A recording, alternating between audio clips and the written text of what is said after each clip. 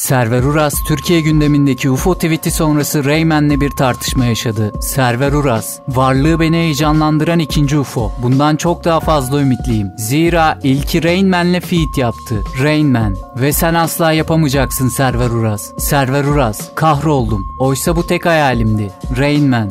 Bir ara senin şarkının reklamını yapmıştım. Oradan hatırlıyorum seni. İyi biri gibisin aslında. Niye böyle gereksiz bir hamleye düştün ki? Server Uraz. Ne güzel. Senin işin reklamcılık zaten. Neden türkü yapıyorsun ki? Rainman. Dua et türkü yapıyorum. Rainman'in tweetlerine tepki gösteren rapçiler de oldu. Ferry. Bir rapçiden yalakalık görmediği için şaşkın şu an arkadaş. Güç sizde ya. Alışıklar rapçi yalakalığına. Bahse girerim bunlar evde rap müziği biz trend ettik diye konuşuyorlardır. Baykan Barlas.